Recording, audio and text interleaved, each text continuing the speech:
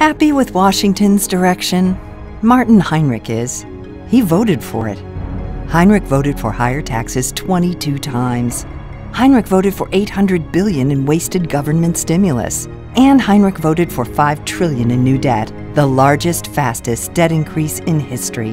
More spending, more debt, fewer jobs. If you like Washington, you'll love Martin Heinrich. I'm Heather Wilson, and I approved this message.